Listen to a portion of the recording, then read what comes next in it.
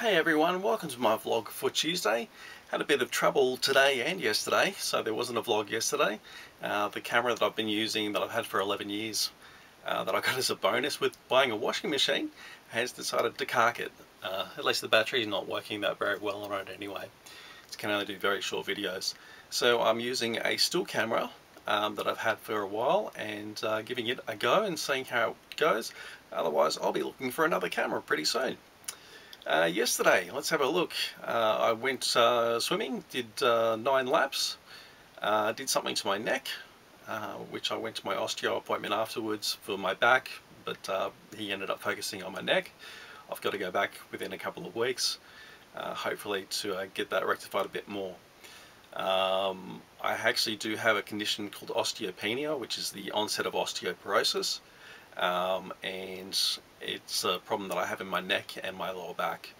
Um, not much I can do about it. I am taking supplements, etc., for it, but um, doing whatever I can with that uh, that other issue that I have as a as a health issue. Um, what else happened yesterday? Uh, made it back here.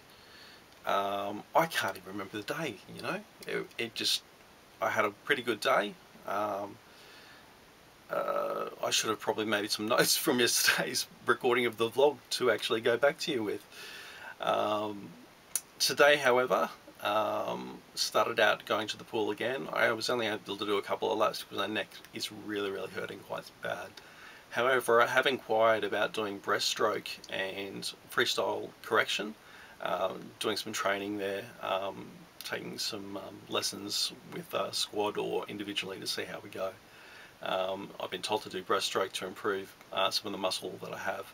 Uh, this, the freestyle's been going really well for that, and um, I have been complimented on it by my osteopath.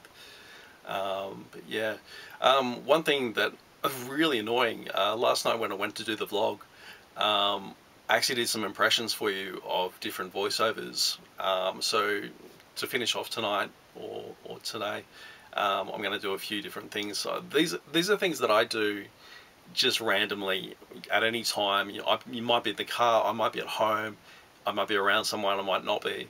Um, because I'm a voiceover, or I do voiceovers for radio, and I have done for quite some time, uh, I just break out into doing them. Um, so, like, one of my favourite ones to do will be Triple M, more music variety, or greater music variety, 104.9, Triple M. Or something like, um, 9 News on Channel 9.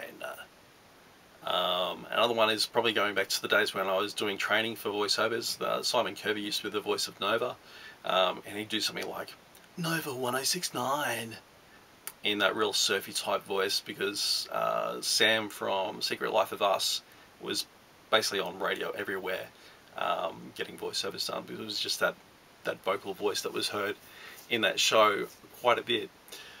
Um, over the weeks and months to come, I'll actually tell you about some of the people I know in the radio industry, um, particularly voiceover artists. I've met some that were just starting out and are at the top of their field right now, um, and others just along the way I've met.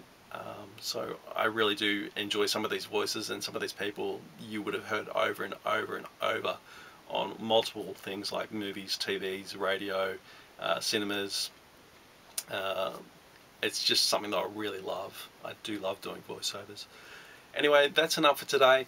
Um, I'll catch you tomorrow, and I'd love your feedback on what I've talked about today. Take care. Bye.